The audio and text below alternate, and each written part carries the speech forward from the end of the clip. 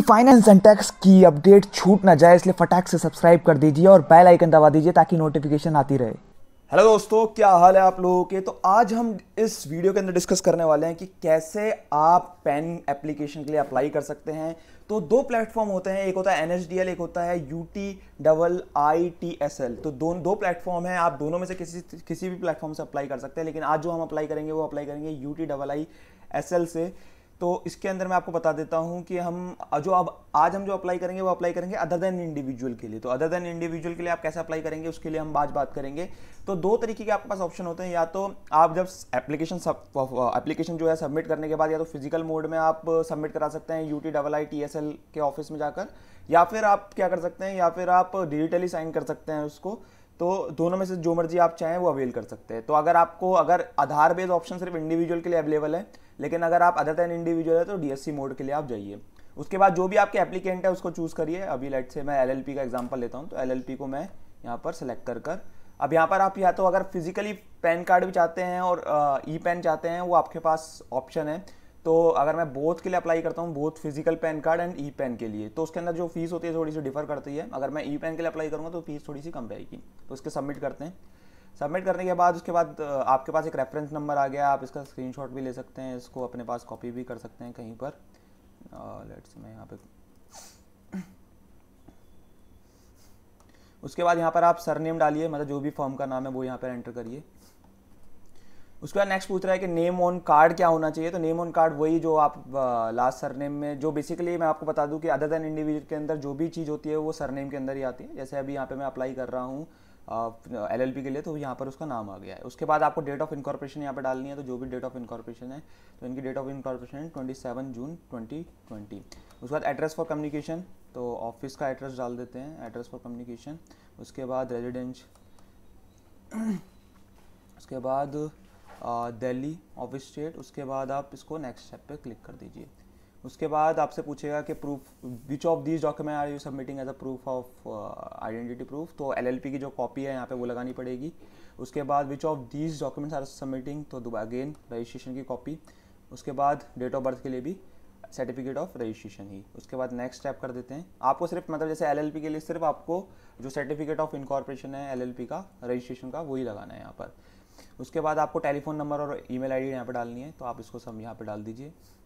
ये डालने के बाद आप इसको नेक्स्ट स्टेप कर दीजिए। उसके बाद आपको पूछेगा कि रेजिडेंशियल एड्रेस क्या है, आप रेजिडेंशियल एड्रेस डाल दीजिए और ऑफ़िस का जो एड्रेस है, वो क्या है। तो आप, जैसे अभी आपने जो सिलेक्ट करा था, वो सिलेक्ट करा था ऑफ़िस एड्रेस तो आपको ऑफ़िस एड्रेस यहाँ पे डालना पड़ेगा, जो भी आपका ऑफ़िस एड्रेस है।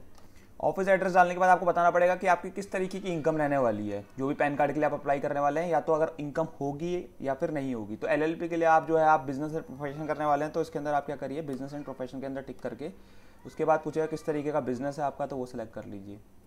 उसके बाद नेक्स्ट स्टेप कर दीजिए। उसके बाद आपको ए की कोड की डिटेल डालनी पड़ेगी। तो यहाँ पर आप गेट एओ कोड करिए।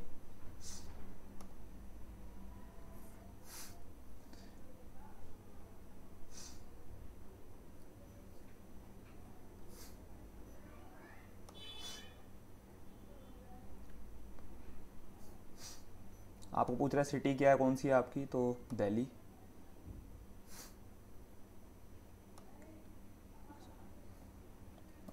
दिल्ली सर्च कर लीजिए। दिल्ली में सर्च करने के बाद इसको क्लिक करिए। तो जो भी आपके हिसाब से आपका जो कोड बनता है आप अल्फाबाइट वाइज देख सकते हैं। जो भी आपका कोड बनता है आप उसके हिसाब से जो भी यहाँ पर आ रहा है उसके हिसाब से आप यहाँ पर आ, इसको एंटर कर दीजिए। एरिया कोड को एओ टाइप को रेंज कोड को और एओ ये एंटर करने के बाद आपको जो रिप्रेजेंटेटिव है, जो भी मतलब जो भी आपके जैसे अभी अगर एलएलपी की मैं बात करूँ तो जो भी पार्टनर है, उनकी डिटेल आप डाल दीजिए यहाँ पर। तो जो भी उनकी डिटेल है, आप यहाँ पर उनको एंटर कर दीजिए। तो यहाँ पर आप पार्टनर डालिए, उसके बाद वेरीफिकेशन का नेम तो आपका जो वेरीफिकेशन का जो भी नेम है, आप वो डाल दीजिए। मतलब जो भी आपके, आपका नाम है।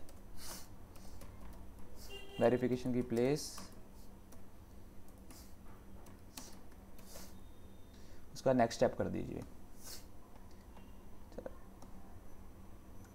अच्छा रजिस्ट्रेशन नंबर हम डालना भूल गए हैं। रजिस्ट्रेशन नंबर यहाँ पर रजिस्ट्रेशन नंबर आप डाल दीजिए। तो जो भी आपका रजिस्ट्रेशन नंबर है, अगर अभी मैं देखूँ, यहाँ पर मैंने डाल दिया। उसके बाद डालने के बाद आप नेक्स्ट स्टेप कर दीजिए। उसके बाद पूछ रहा है विच ऑफ़ वो हम ऑलरेडी सेलेक्ट कर चुके हैं। उसके बाद अच्छा यहाँ पे पूछ रहा है, यहाँ पे जो फ़ाइल है वो अटैच करने के लिए बोल रहा है तो आप यहाँ पे जो फ़ाइल है वो अटैच कर दीजिए। अगेन यहाँ पर दोबारा आपको करनी है। फिर अगेन आपको यहाँ पे दोबारा करनी है। उसके बाद आप सबमिट कर दीजिए इसको।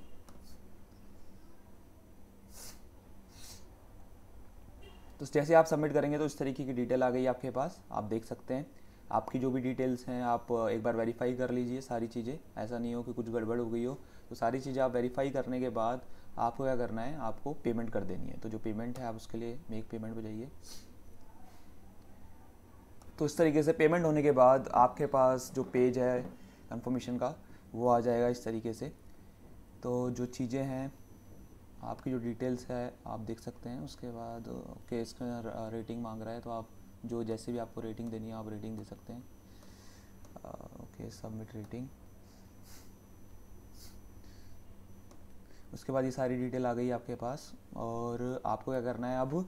आ, ये डिटेल आपको जो है आपको जो पेन एप्लीकेशन है जो भी आपने फॉर्म डाउनलोड करा है आपको उसको डीएससी के लिए डाउनलोड कर लेना है। तो आप डाउनलोड कर लीजिए यहाँ से। फॉर्म डिजिटली साइन करने के बाद आपको क्या करना है, उसके बाद आपको अपलोड कर देनी है जो भी आपने डिजिटली साइन करनी है। आपको डिजिटल साइन कैसे करना है, वो सीखना है तो आप आई बटन पर क्लिक करके आप देख सकते हैं कि किस तरीके से आप डिजिटल साइन करना है। आप समझ सकते हैं उस वीडियो में देखकर। अभी मैं यहाँ पर अपलोड कर रहा हूँ जो भी हमारी जो डीएससी साइन जो डॉक्यूमेंट है तो इसको भी हम साइन, इसको भी हम अपलोड करते हैं। उसके बाद अपलोड साइन पेन फॉर्म